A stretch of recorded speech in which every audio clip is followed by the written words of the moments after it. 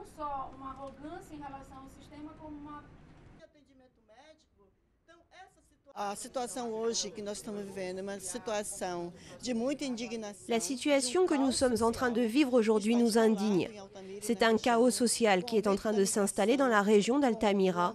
Avec le flux migratoire et l'augmentation de la violence, 28% pour ce dernier trimestre, l'augmentation de la criminalité, du trafic de drogue, la prostitution et les abus sexuels sur les enfants et les adolescents. D'après des données que nous avons, c'est la situation que nous sommes en train de vivre. Un véritable chaos et des violations des droits de l'homme. Où vont aller les plus de 20 000 familles en milieu rural, agriculteurs et petits exploitants qui ont vendu leurs terres et qui n'ont plus de terres dans la région?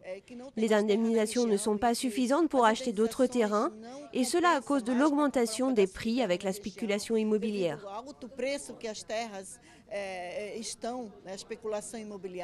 C'est la première fois que le Brésil ne participera pas à une réunion de l'Organisation des États américains qui réunit Commission et Cour interaméricaine des droits de l'homme alors qu'une audience est programmée par l'OEA.